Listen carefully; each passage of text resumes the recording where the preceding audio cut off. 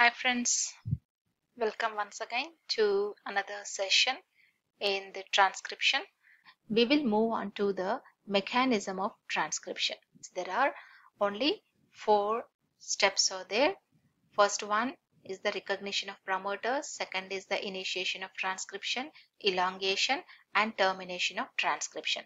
Let's see one after another in detailed manner the first step is recognition of promoters. I told you promoters are nothing but short fragments which are present on the upstream of DNA required for the binding of the RNA polymerase thereby to begin the process of transcription. Transcription begins by the binding of RNA polymerase at the promoter region of the DNA. And these are the promoter sequences, the start site, and this is the RNA which is synthesized. I told you these are the upstream sequences. These are the downstream sequences. Promoters are present on the upstream and here the promoters are short oligonucleotides which have similar sequences in all the organisms which I told you earlier. They are usually present on the upstream of DNA and in prokaryotes two types of promoters are present one at minus 10 region another one at minus 35 region. At minus 10 region, Tata box is present. At minus 10 region, Tata box is present. At minus 35 region, another, another sequence called TTGACA, another promoter sequence is present.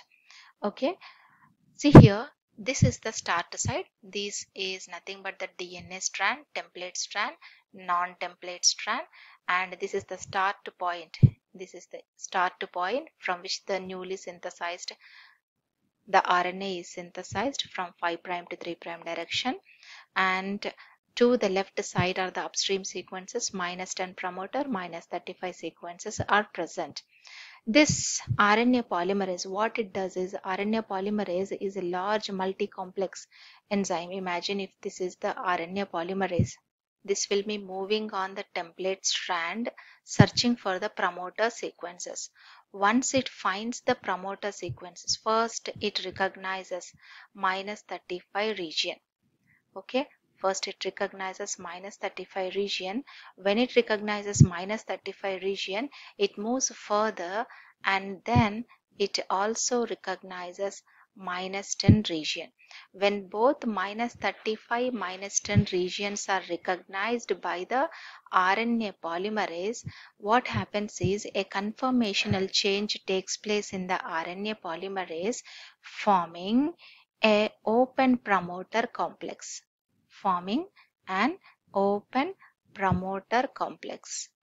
Till now there is a closed promoter complex. This sequence is called as a closed promoter complex. Closed promoter complex where the DNA is not unwinded forming closed promoter sequence. Closed promoter complex. But whenever the RNA polymerase binds to the DNA thereby the strand got conformational change leading to the separation of the strand that is taking place. This complex along with the RNA polymerase is called open promoter complex. In the open promoter complex what happens is it exposes the start site. Imagine this is the start site. These are the promoter sequences minus 10 and minus 35 regions are there. The sigma factor present in the RNA polymerase, it plays an important role in the recognition of the promoters. Both the promoters are recognized by the sigma subunit of the RNA polymerase. First it forms the closed promoter complex, later it moves further, recognizes minus 10 also and then forms the open promoter complex. In the open promoter complex what happened?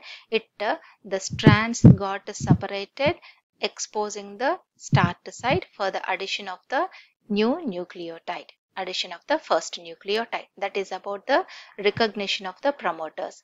Let's move ahead to the uh, transcription initiation. After the open promoter complex is formed the holo enzyme adds the first nucleotide. Till now it is the holo enzyme which is functional. That means if this is the template strand of dna and this is the first nucleotide that is added to the template strand. Imagine if this is the lower one is the template strand, the first nucleotide is added. It might be either ATP or GTP. Imagine if this is ATP. The from the first nucleotide, the speciality of this one is the pyrophosphate is not released. That means the three phosphates they are intact. They are not cleaved from the first added nucleotide. The nucleotide is added that base pairs with the nucleotide on the template strand also. Okay, here is the template strand the first added nucleotide it base pairs hydrogen bonds with the template strand. The first the catalytic site here the addition of this nucleotide it it is because of the beta subunit beta subunit of the holo enzyme in the beta subunit, the beta subunit is filled with the nucleotide, correct nucleotide that can base pair with the nucleotide which is present on the template strand. Okay, the correct nucleotide is filled in the beta subunit and the beta subunit is responsible for the formation of the phosphodiester bonds and the hydrogen bonds. Then two newly added nucleotides, they will be joined by the phosphodiester bond. For example, here the, this is the first nucleotide that is added.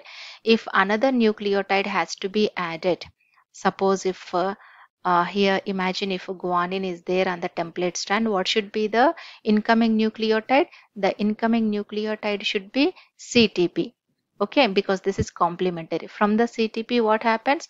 The pyrophosphate is removed and here to the first nucleotide and the incoming. Incoming is CTP okay so between these two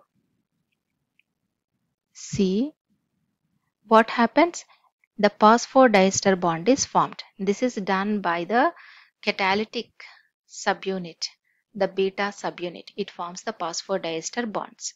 And the newly added nucleotide also hydrogen bonds with the nucleotide present on the template strand.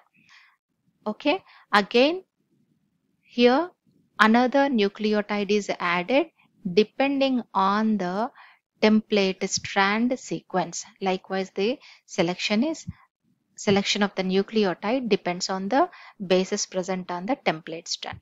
The newly added nucleotide always base pair with the nucleotides of the template. Here there is base pairing which is seen if the nucleotides are added like this, the nucleotides base pair with the template strand forming temporary hydrogen bonds. This is required for the correct proofreading of the RNA. Okay, the initiation process after the addition of about 8 to 15 nitrogen bases of RNA and RNA synthesis is from 5 prime to 3 prime direction. After the addition of 8 to 15 bases, what happens? The sigma subunit. Imagine if this is the this is the RNA polymerase holoenzyme. From this one what happens? The sigma subunit, the sigma subunit it comes out.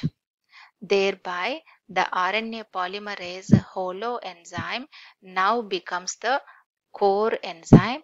This core enzyme is responsible for the process of elongation as well as termination. Okay, the sigma factor dissociates from the holoenzyme and the elongation and termination are carried out by the core enzyme alone.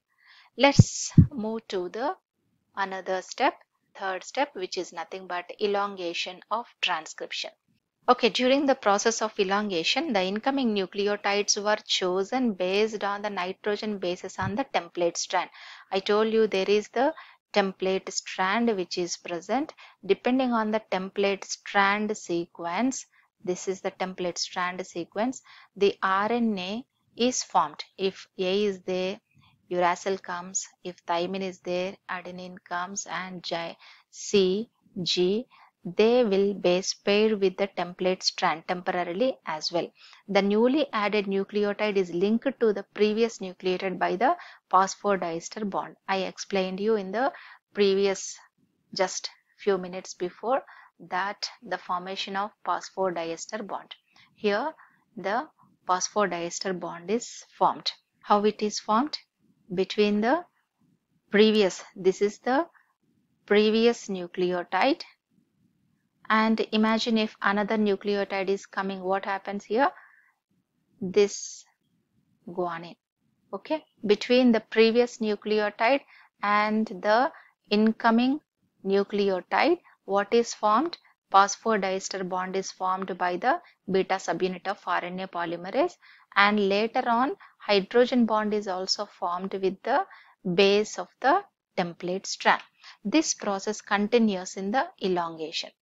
During the elongation process, the, the phosphodiester bond as well as the newly added strand is also linked to the template strand with the help of hydrogen bond.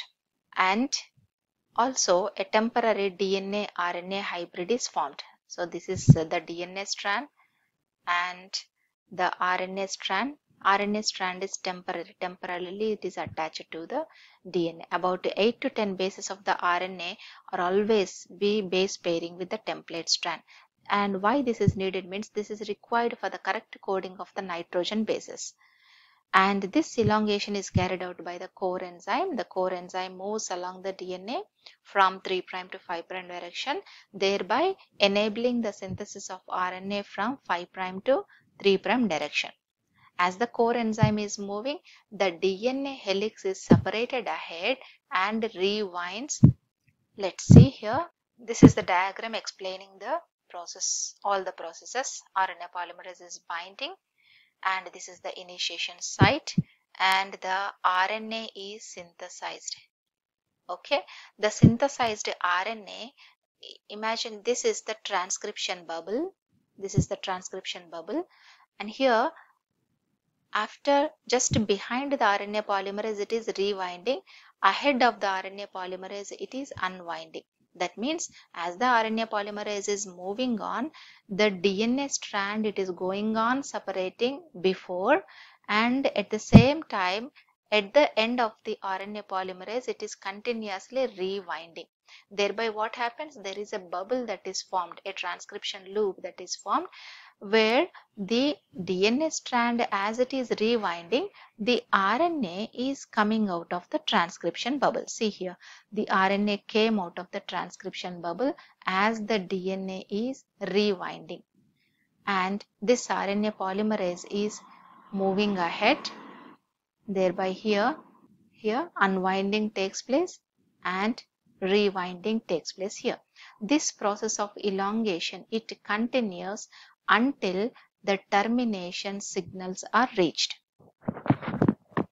The termination coming to the last step of the transcription, termination of the transcription.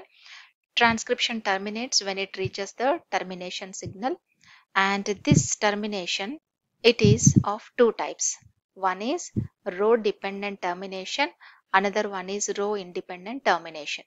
In the rho independent termination, there is a palindromic sequence. Palindrome means which reads the same from both sides. A palindrome sequence of GC rich region is formed that leads to the formation of hairpin loop. And at the end of the 3' end of the hairpin, there are number of uracil nucleotides that are added and the transcription terminates after the addition of 5 to 6 uracils. Okay, let's understand this Let's see here, this is the DNA strands. Both are nothing but the DNA strands. And from these DNA strands on transcription are giving rise to the RNA strand. This is the RNA strand where due to the sequences which are present on the DNA, these two are palindromic sequences. This sequence as well as this sequence are palindrome. When it is synthesized, it forms a hairpin loop like this. Because these two are complementary to each other. They form hydrogen bonds and there is an unpaired sequence forming hairpin loop. After the hairpin, the uracil residues are synthesized. Okay. And if uracil has to bind, what should be there? Adenine should be there. That means number of AU, AU, AU sequences are there. Remember the AU a, U bond is weak compared to GC bond compared to GC bond. GC bond is strong bond whereas AU bond is weak bond. After the synthesis of 5-6 weak bonds, the RNA polymerase automatically it comes out of the ribosome. See here. RNA polymerase comes out likewise the this one is nothing but the newly synthesized RNA strand and the RNA polymerase this RNA polymerase it also comes out of the DNA thereby finishing the process of transcription. This is rho independent termination where the rho protein is not involved hairpin loop followed by 5-6 uracil residues is enough for the termination of the transcription. Let's see another one. The another type of termination is rho dependent termination. Here there is a protein called rho protein. There is a protein called rho protein which binds tightly to the RNA strand and where it binds means here it binds to the C-rich sequences which are present in the newly synthesized RNA. The this there is also the hairpin loop formation. Imagine if this is the newly synthesized RNA that means a long lengthy RNA 5 prime to 3 prime direction but here the synthesis is going on. Now this is the DNA strand this is the DNA okay here the hairpin loop is formed and there are cytosine residues which are present. Instead of uracil there are cytosine residues that are there. And these to these cytosine residues this rho protein it binds. Rho protein binds to the C-rich sequences and it induces ATPase activity ATPase activity. ATPase activity means ATP cleaving activity. By utilizing the energy from ATP, it uses energy from ATP. Lot amount of energy is released by the breakdown of ATP and this energy is used to stop the transcription process forcibly. To stop the transcription forcibly by using the energy. Okay, thereby what happens? The newly synthesized RNA is released. Okay, and the RNA polymerase also comes out. RNA polymerase also comes out of the transcription bubble and the DNA it rewinds forming double helical strand. Okay, this is the process of transcription in detail. Yes. Let's sum up. We have seen the recognition of promoter sequence, initiation of transcription, elongation of transcription, as well as termination of transcription. Recognition of promoters, there are two uh, types of uh, promoters are there, minus 10 and minus 35 sequences were recognized by RNA polymerase holoenzyme. Sigma subunit is necessary for the recognition of promoters, binds to the RNA strand binds to the DNA template strand, thereby separating the DNA by bringing the conformational change in the RNA polymerase. Then the process of initiation starts. Initiation begins by the binding of, uh, by adding either the ATP or GTP as the first nucleotide. First, from the first nucleotide, the three phosphates are intact, not broken down. Then later on, the second, third, fourth nucleotides are added by the beta subunit of RNA polymerase. Then elongation is also similar to the initiation process. After the addition of 8 to 15 nucleotides, the sigma subunit it comes out of the ribosome and the next process is carried out by the core enzyme of the RNA polymerase. This core enzyme it carries on the process of elongation till the termination signal is reached. Elongation is nothing but the addition of phosphodiester bond, uh, addition of nucleotides to the previous nucleotide as well as forming hydrogen bonds with the template and whenever the termination signals are reached there are two types of termination one is the rho dependent termination another one is rho independent termination rho independent termination. Okay? Thank you